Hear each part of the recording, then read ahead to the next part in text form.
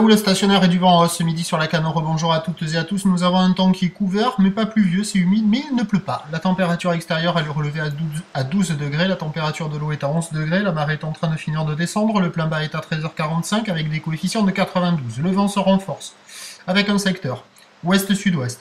Trois Beaufort établis, on n'est pas loin des petites rafales à 4 Beaufort. On est dans du 7 à 9 nœuds, des fois des rafales à 11 nœuds. Plan d'eau ridé, bien clapo, un peu en dégradation par rapport à ce matin. Et puis on a cette houle qui est longue avec 11 secondes de période orientée ouest-nord-ouest. Quasiment stationnaire, il y a toujours ce mètre à 1 mètre 20. Il y a peut-être un mètre 20 un poil plus présent. Bon, euh, mais par contre, c'est pas énorme. Ça reste en pic, des vagues assez aléatoires, assez agitées, qui avec la marée basse fonctionnent de moins en moins bien. Personne à l'eau, personne qui check. Évolution pour le reste de la journée. La boue Arcachon grossit à 2,66 secondes. Ça risque d'être moins gros que prévu.